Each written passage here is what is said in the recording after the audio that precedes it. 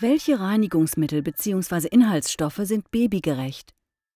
Wenn Sie Reinigungsmittel für den Babyhaushalt suchen, sollten Sie auf zwei Sachen achten. Das erste ist, dass es immer ein bisschen schlecht ist, wenn diese Reinigungsmittel Rückstände auf den Oberflächen hinterlassen, besonders wenn dann die Oberflächen auch noch in Kontakt mit der Babyhaut kommen. Dummerweise können Sie diese Reinigungsmittel nicht immer sofort erkennen. Sie können aber davon ausgehen, wenn beispielsweise von einem nachhaltigen Effekt die Rede ist, dass dann Rückstände auftreten. Ähm, zweitens ist es wichtig, dass Sie auf Reinigungsmittel verzichten, die in irgendeiner Form Allergien auslösen können. Dabei sind natürlich besonders die Duftstoffe kritisch. Und ähm, es gibt Produkte, die ganz auf Duftstoffe verzichten oder nur solche verwenden, die eher unproblematisch für Allergiker sind.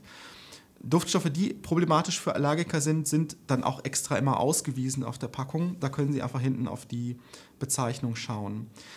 Wenn Sie im deutschen Handel kaufen, können Sie eigentlich sicher sein, dass die Produkte nicht schädlich sind.